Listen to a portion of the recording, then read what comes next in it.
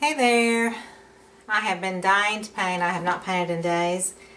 And I don't have much time this week because we are heading to Georgia for my son, my stepson's graduation from AIT, which is a school uh, in the Army where he's taught his skills.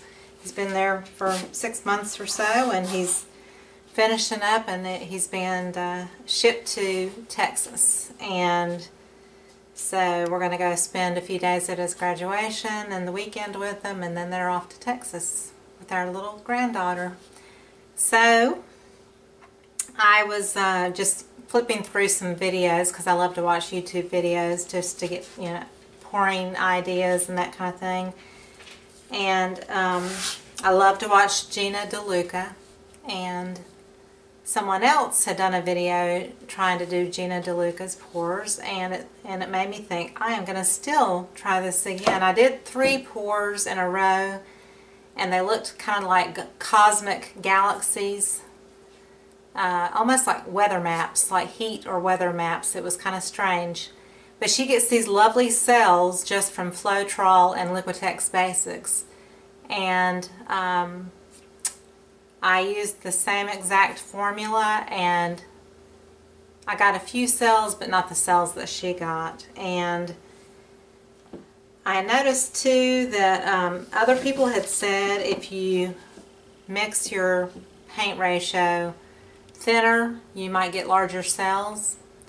And then I watched someone else do a, a pour that was kind of like Gina DeLuca's and she used more Floetrol than Gina does. She used three parts Floetrol to one part paint. And she used a different brand. She didn't use Liquitex. She's in a different, she's not in the United States. And I thought, well, I'm going to try this again with three parts Floetrol, one part paint. And on the metallic, the gold, I'm going to do two parts Floetrol. I want it to be thicker so that possibly it will show up more. So I've got my Flood flow Floetrol latex based and I've got one part paint and I'm going to do three parts Floetrol.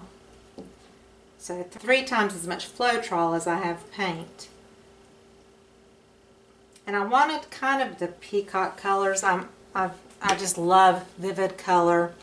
And I bought a bottle of the Color Shift paint. Um, from Folk Art. This one is that purple, purple flash, which is just the paint alone poured in the cup is just gorgeous. It has two, like, it has a bluish cast and a purple cast that's really beautiful. This is just a um, Creative Inspirations. It's ultramarine blue. This is Artist Loft Aqua Green. I've got Artist Loft Flow Acrylic White. This is Liquitex Basics Gold.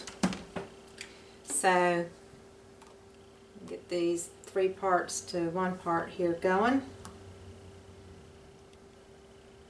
But I'm going to do two parts to one part on the gold. So just looking to make sure I have enough Floetrol for the amount of paint that I have put in the cup. I'm going to speed through the mixing part and I will be back with you shortly.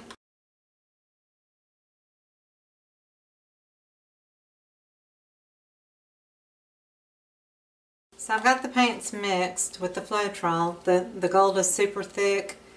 The blue and the purple color shift are really kind of great. This is super thick with the Artist Loft. And so I'm going to add a little bit more Floetrol to it, but what I'm going to do is, instead of just straight out water,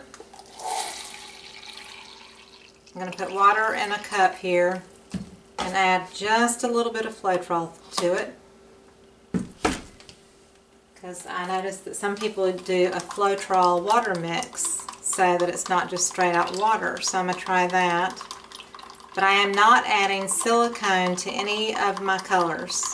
I want to do straight out paint Floetrol and see if I can get some cells.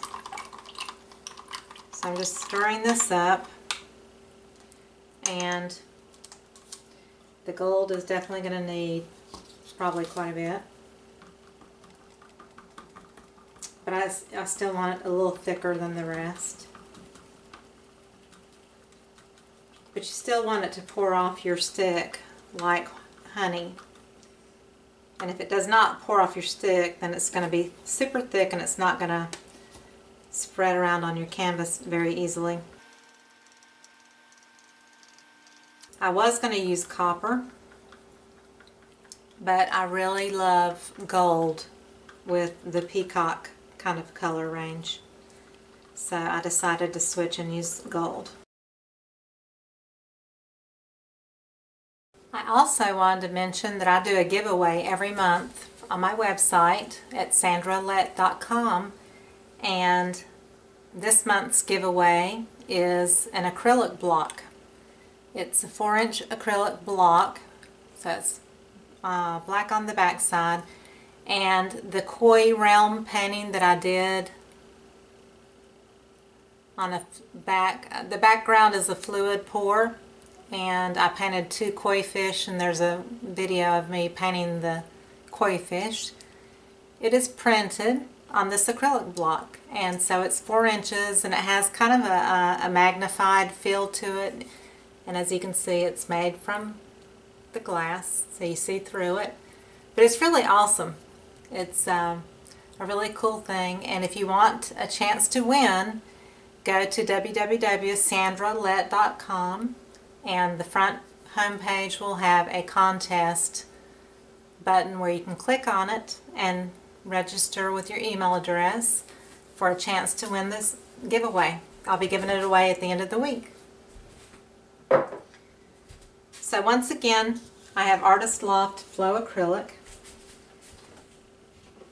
And that comes in a big quart that I get at Michael's. Liquitex Basics Gold. Folk Art Color Shift Purple Flash, which is a gorgeous color. This is Creative Inspirations Ultramarine Blue. I think I got this at Jerry's Artorama in Raleigh, North Carolina.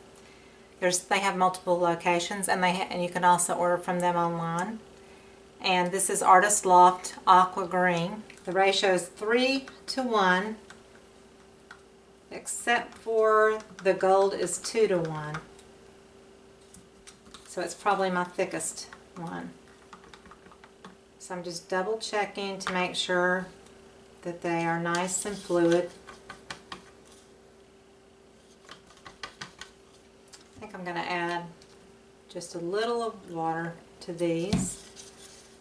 This one is pretty well mixed up because I can see the bubbles and it's it's more fluid than these two are. And Gina DeLuca does her um, the gradient pour where she starts in a large measuring cup and she starts kind of with the deepest colors like purple and then she works her way to the yellow which is the lightest almost kind of in a rainbow color effect and um, but she does it in layers. And I'm not going to try to do this in layers. I'm going to do it like a dirty pour. So I've got this plastic cup, and I don't know why. This cup is all bent and funky looking. I don't know how that happened, but I'm going to use it anyway. Move my water out of the way. That's not ketchup, it's water.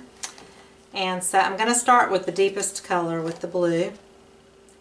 And I need probably at least 12, 12 to 14 ounces or so to cover this canvas.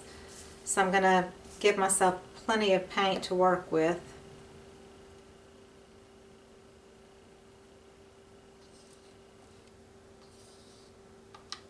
And there is no silicone in any of these.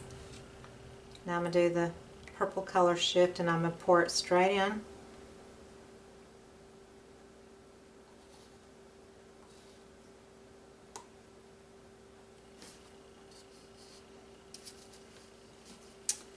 then I'm gonna, I think I'm going to do my gold now.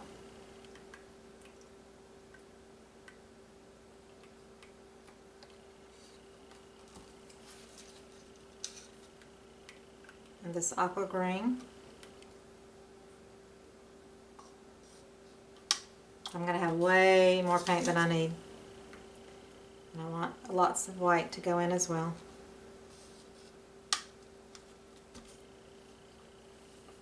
So it's all in there. This is a 12 by 24 canvas that I've put push pins on the back. I'm going to pull out my metal baking pan that I've had forever where the paint just peels out.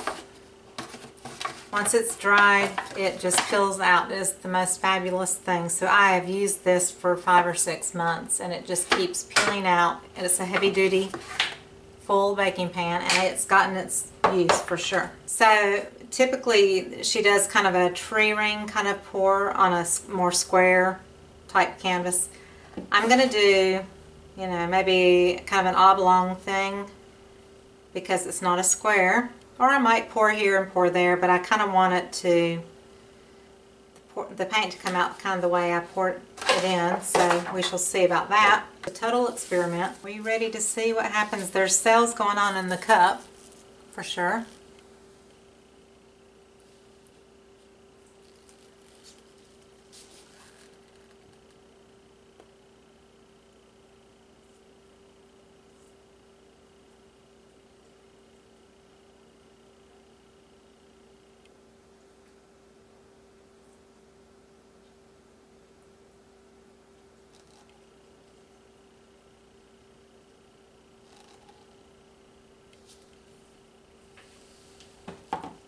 So I'm not using everything in my cup because I don't, I don't need that much paint.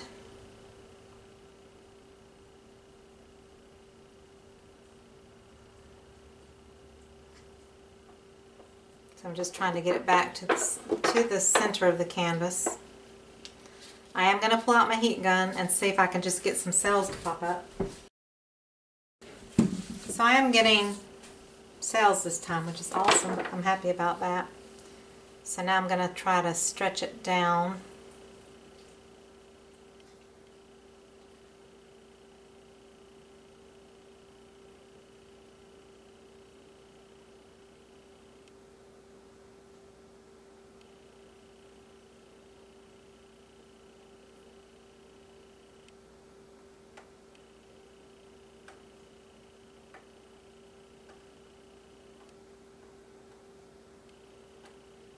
I do see some lumps in my paint.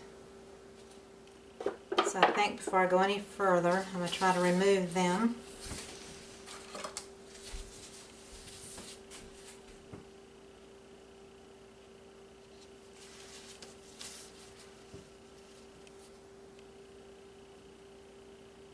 That is most likely, well the green, the green was kind of thick. I don't know if I'd had it a while the aqua, aqua green color. And so I had to stir it quite a bit to get it to break down. And then sometimes with the Floetrol, you can get like a strand in the Floetrol. So it could be the Floetrol, it could be in the color, I'm not sure. I'm going to take it back this way.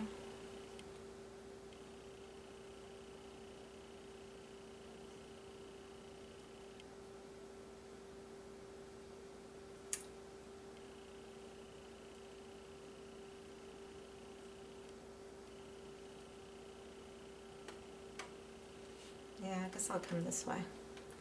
Let it go off the edge.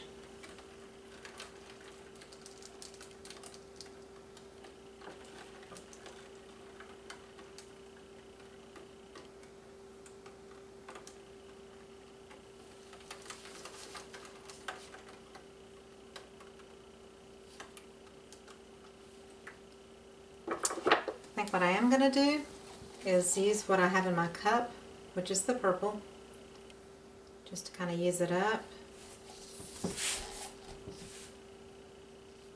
And that way I don't lose the beautiful part that's happening right now.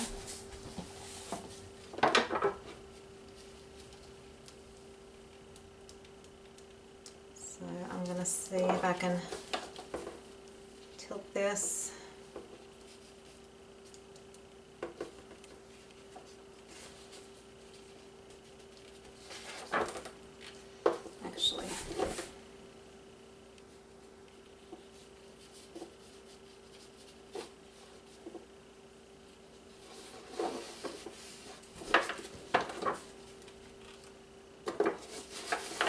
also too you can grab your leftovers that have dripped and use them so you're not wasting more paint too as well.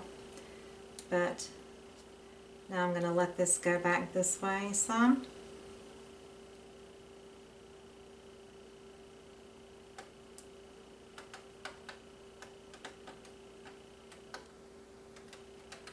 let it go over that purple and now I'm going to this way that gold is just beautiful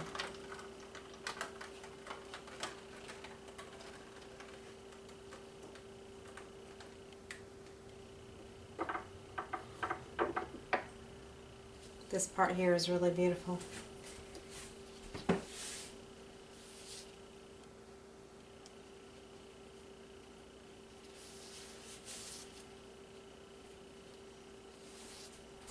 Taking what's dripped on the table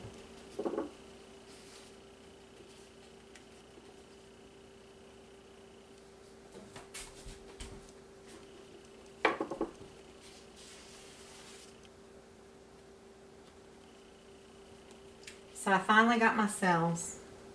And the key, I think, is to have a more fluid mix.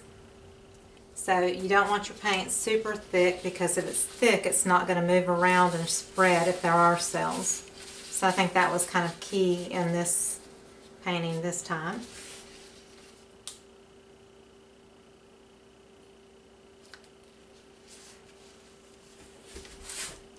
See more lumps.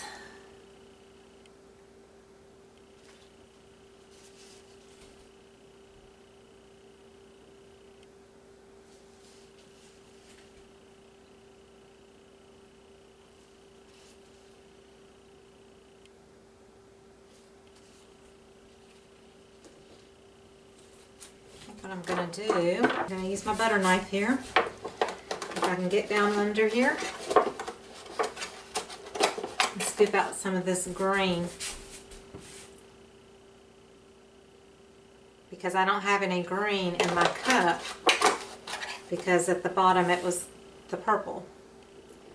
So I'm just taking this green and I'm going to swipe it through this purple.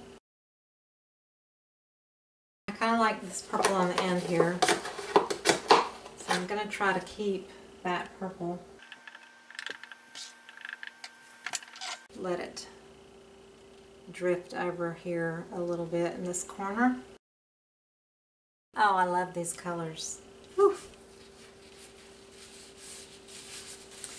It's funny, you know, when you do, a, you haven't painted in a while and you do one and it actually kind of does what you kind of hoped it would do. You're just so tickled to have it show up, you know. You're dreaming for that beautiful pour. So to get it to do that, to work, is amazing.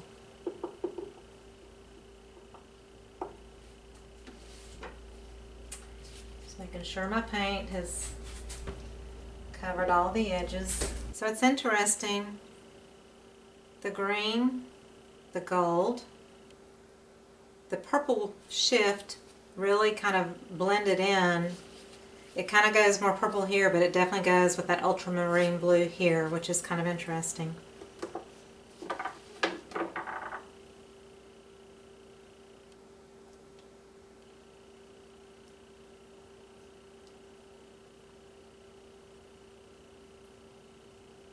Just trying to see if I can get this uh, gold to be a little bit more predominant. So even when you don't use silicone, when you do use, you know, more Floetrol, it, it does thin your paint down and you do sometimes get lighter spots on your canvas where you kind of see down to the grain of the canvas and that's because of the Floetrol it is a paint extender, so it kind of makes your paint like a glaze because I was a decorative artist for 20 years and I used Floetrol as a glazing medium with latex wall paint and that's how I did my faux finishes. So when you add Floetrol to your paint, you're kind of making your paint like a glaze, if that makes sense. And so it is going to make your paint more transparent. You don't lose the color, but your color becomes transparent. So that is sometimes too why you see through to the canvas and that's why you just have to make sure you have enough paint thick enough on your canvas so that doesn't like totally expose the grain of the canvas. I love this. I love it a lot. The white did not really come through and I'm kind of glad. I'm trying to get a lump right here.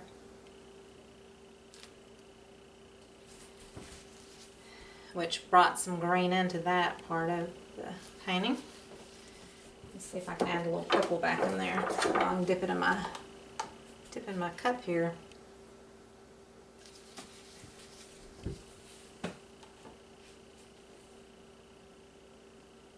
So there where I kind of played with the paint too much, I can just throw some purple back in and it will sink down in with that. Maybe stick just a little bit of gold back too.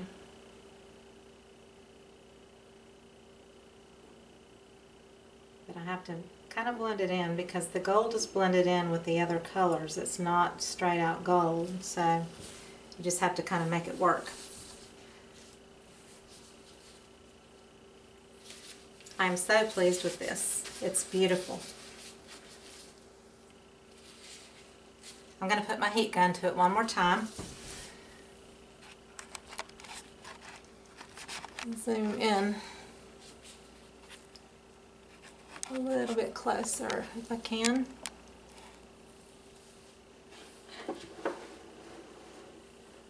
So you can see just a little bit better. Didn't change things a whole lot. It brought out maybe a little bit more purple here. And if the purple pops out here, that's even better. I'll probably like that even better than I do now. So I'm going to try, try to very carefully bring it up to you.